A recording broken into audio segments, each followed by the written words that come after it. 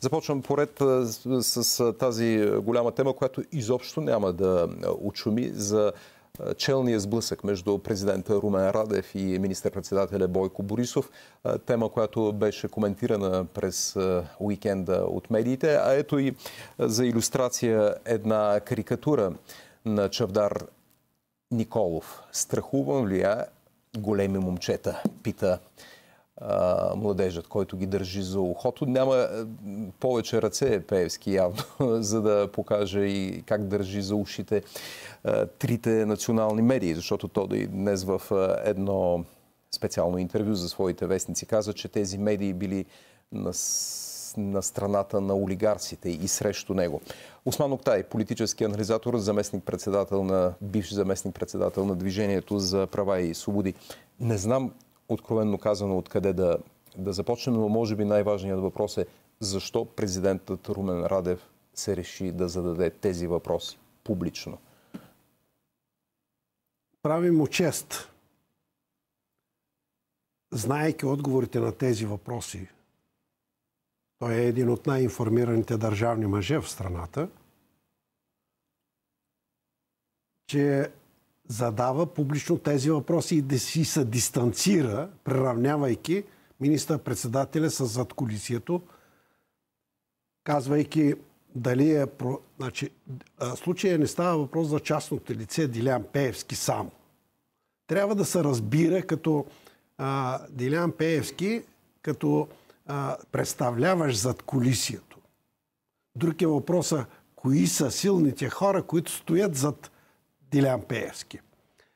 И задавайки въпроса, имал ли е срещи с Пеевски? Продължава ли да се среща с Пеевски? На този въпрос министър-председателя не отговори в своята пресконференция, казвайки, че той се среща с всички политици и депутати. Второ, има ли общ бизнес с министър-председателя и Пеевски, с задколисието? И трето, предоставя ли обществени поръчки на това задколисие, в случая Пеевски? Това са убийствени въпроси от името изговорено от държавния глава. Публично. Публично. Пред медиите. Пред медиите. Значи, този, тези въпроси поставят в изключително сложна ситуация министър-председателя на България, председателстваща съвета на Европа, днес пред цялата европейска дипломация и европейски лидери и изведнъж го приравнява в единодействие с задколисието. Това го казва президента, държавния глава който е с най-голям авторитет и мажоритарно избран а, лидер на Обаче, европейска и, и натовска и Бойко държава. Борисов и Делян Пеевски в интервюто за, днешни, за днешното си интервю пред своите вестници казва, окей, ако е лош, нека прокуратурата да каже, че е лош Пеевски. Тук трябва да анализираме с вас и с вашите зрители следния факт самия факт, държавния глава, който разполага с власт, ресурс да разговаря с главния прокурор, с различни институционални ръководители на службите, защо и кое го накара публично да постави въгъла министър-председателя? Кое? Това показва, че той, виждайки, че властите съдебните, прокурорските власти бездействат. Той, според мен, за това а, застава на страната на гражданите, очаквайки подкрепа от гражданите в битката си с това задколисие, което е окупирало различни власти. Включително и медийните. Включително медии, включително прокуратурата, включително министри, Министерски съвет. В а, всеки случай а, прави чест на президента Радев, но след като е казала, аз съм убеден, че той има достатъчно информация, за да каже Б. Може ли е да не, да не знае какво ще последва? Не може да не е знал. Защото, забележете, никой от действащите политици, да не говорим за държавни служители, не смее да произнесе името Пеевски, защото веднага бива дъмгосан. Платен от олигарсите, платен от Сорос и така нататък. За разлика, за разлика от а, всички нас, държавният глава разполага с имунитет и не може да бъде атакуван чрез главна прокуратура. Но ще наблюдаваме следващите месеци дали няма да понесе удар около семейството Сега, си, мо... около някои други приближени до него. Тоест, знае какво ще последва от това публично изказване? Няма начин да не е знаел. Но, определено, а, аз не подценявам, а, че той предварително се е подготвил за осветяването на тези въпроси. И знаейки колко са силни противниците, които ще застанат от другата страна срещу него. Е факта, че може Делян Певски да иска от президента да му се извини. Значи това вече говори за поведение на а, младеж, който се е самозабравил, мислейки, че наистина дърпа конците и може да дърпа за ушите, както показахте тук в карикатурата, разни видни личности. Сами те се поставиха в а, такава зависимост. Примерно, преди да бъде избран Цацаров за главен прокурор, всеизвестно е, когато излезе информация, че над 30 пъти Дилян Пеевски го е водил в кабинета на Цветанов, вице-премьер и министър на вътрешните работи. Ако не бяха записани имената им, нямаше да се докаже и това. Колко пъти Цацаров е ходил с Пеевски а, преди да бъде кадруван за главен прокурор при Бойко Борисов. Не, не знаем, защото не е записано. Или при Доган. Всичко това говори за тази зависимост от задколисието при кадруването на ключови важни откъде, личности. Откъде президентът Радев черпи сила? Защото, окей, вие казвате гражданското общество, прекрасно, но, значи, но там битката е по друг начин се провежда. Никога в... не съм, през годините, никога не съм подценявал а, президентската институция като пряко избран, единствено мажоритарно избран а, държавник в, а, в страната. Независимо, че през цялото време на прехода се неглижираше президента, президентството, като се казва, че той не разполага с никаква власт, освен представителна власт. Никога не съм се съгласял с тази позиция. Защото гласа на президента, който разполага с огромна информация от службите, както от нашите, така и от западните служби, а, гласът на а, президента като държавен глава, обединител, трябва да е гласа на гражданите на България. И той така беше избран. И... А, а, впрочем, извинявайте, а, може ли една вметка? Бойко Борисов зададе много интересния въпрос. Платено ли е, по памет цитирам, платено ли е за подкрепата на ДПС? Защото президента Румен Радев крайна сметка беше подкрепени от гласовете на ДПС. Не решително, но така или иначе. Значи... Някой казва, че никой не може да бъде президент на България, ако не бъде е, значи, подкрепен е, от гласовете е, на ДПС. Това е значи, бягство на Бойко Борисов по време на пресконференцията от съществените въпроси, поставени от президента. А, с отклонявайки, политизирайки по този начин темата. Примерно, днеска аз а, а, и президента знае, и ние знаем, че когато има несъгласие между така наречените патриоти, националисти и Бойко Борисов, ДПС са патерицата на властта. Ами, а, а, това, което беше в речта на Доган, коледната му прословута реч, е, не подкрепили е, вота на недоверие и не подкрепили Бойко Борисов и правителството. А всъщност на каква президент, цена? Президента Радев, аз пуснах на, на зрителите по-дълъг е, отказ от неговото изказване. Неговото изказване на президента Радев започва с думите. Ахмед Доган направи коледен подарък, подарък на Бойко, Бойко Борисов, Борисов. И след това зададе тези нали, четири въпроса. За това говорим, всъщност. А, къде е по-реална? Едно е избирателите да подкрепят заедно с голяма част от българските избиратели държавен глава. Там вече няма политическа сделка. Аз не съм чул до сега президента Радев да е назначил в президентството приближен на Доган за съветник или ключов а, а, съветник. Дори при Плевнелиев имаше, преди това при Георги Парванов имаше представители на обкръжението на Доган в президентството като Тогава. съветници. Но не оправдавам а, а, а, Радев. Става въпрос, че различна е подкрепата. Едно е в реалната власт срещу, така както казва президента Радев, о, о, срещу обществени поръчки.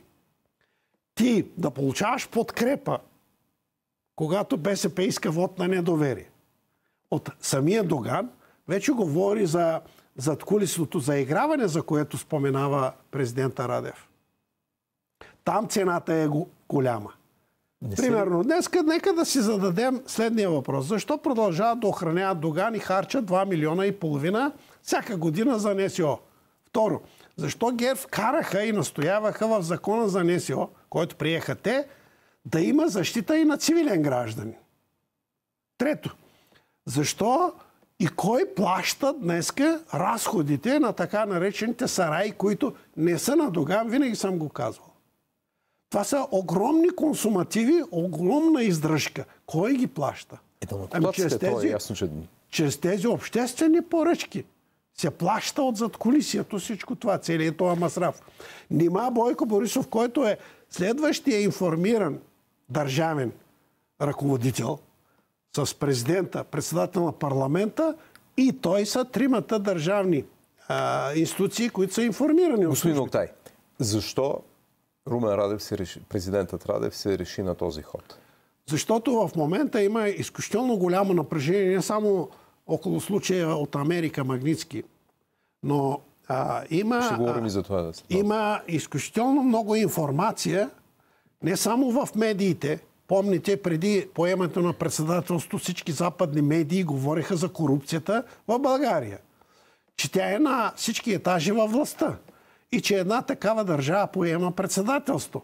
Изведнъж а, а, президента с тези въпроси включва директно министър-председателя в, а, в това заиграване с, с мафията и зад колисието. Това са много тежки а, а, а, упреци, а, които ще имат продължение. Как? Как? Това ме интересува. Аз мисля, че президента Защото, нали, Радев... извинявайте, Бойко Борисов каза, дори сега да има избори, политическата конфигурация ще бъде същата.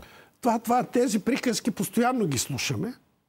А, каква ще бъде политическата конфигурация и колко превърнаха хората, избирателите в България в крепостни, зависими.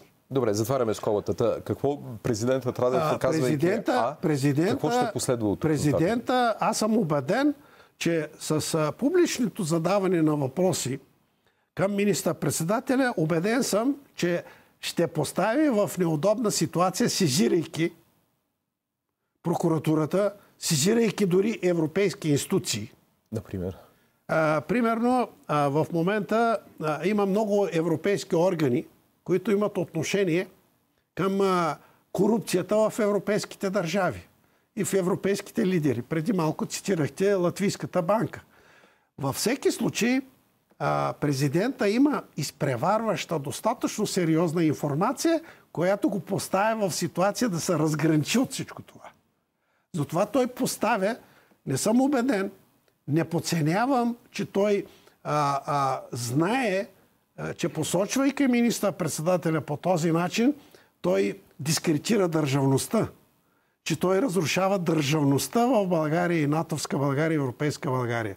Но той явно е поставен до ръба, знаейки, че това ще излезе от международното поле. И той е преценил, убеден съм, че по-добре да излезе от президента, защитавайки българските граждани. Отколкото чужбина. Отколкото да, да се прави, че нищо не е знал и да получим удара отвън. Това какво общо има с Магницки? защото в това студио беше Елена Поптодорова, бившата посланничка на България в Вашингтон и общо зато информацията, която дойде включително и от дъщерята на Цветан Василев, е, че жалбата на Цветан Василев срещу главния прокурор Сотир Цацаров и Делян Певски по свалянето на КТБ, събарянето на КТБ се разглежда в момента от Държавния департамент и ще легне на бюрото на президента Тръмп. В, този смисъл съобщението, което абсолютно неочаквано. В неделя 150 по хоризонт един заместник министр казва, ние готвим среща, искаме от нашите, искаме от нашите американски партньори да има среща Доналд Тръмп Бойко Борисов.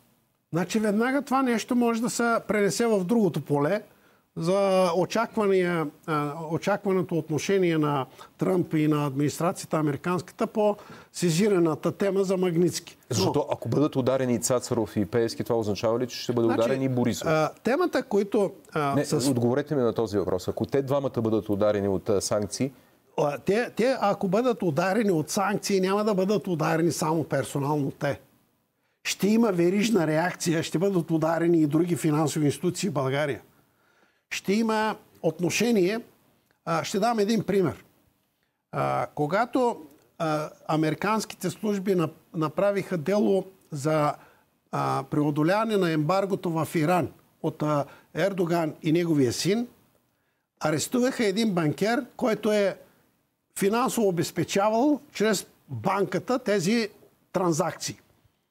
Този банкер стана защитен свидетел на американските съдилища. И започна да говори. И започна да говори. И затова Ердоган е толкова И Ердоган сега в момента се чуди как да не бъде в списъка. Какво ми казвате? Сега в момента около Магницки някой се опитва да извади от списъка да не бъде ударен Бойко Борисов, така както беше ударен главен секретар в съда в Страсбург а, когато обсъждаха темата в Харманли. Чората. Чората. Не, но това е, не, не, говоря, това е дребна тема. Дребна, но става въпрос, че посочиха персонално името. И знаеки, че веднъж ще бил посочен, а, страхуваш се и правиш всичко възможно да предотвратиш евентуално от а, удар политическата власт. Затова ли той спомена Цеко Минев, първа инвестиционна банка? За това спомена и в това интервю ни в клин, ни в ръкав а, че едва ли не той няма нищо общо с Цеко Минев. Едва ли не няма нищо общо с... Примерно, а, Дилян Пеевски в интервюто си днеска казва, кои са хората, които били разграбвали заедно с Светан Василев банката. Той бил си върнал всички кредити и нямал задължение към банката. Обаче, ако отворим сайта на една друга банка... На Централната банка. Не, не, не, не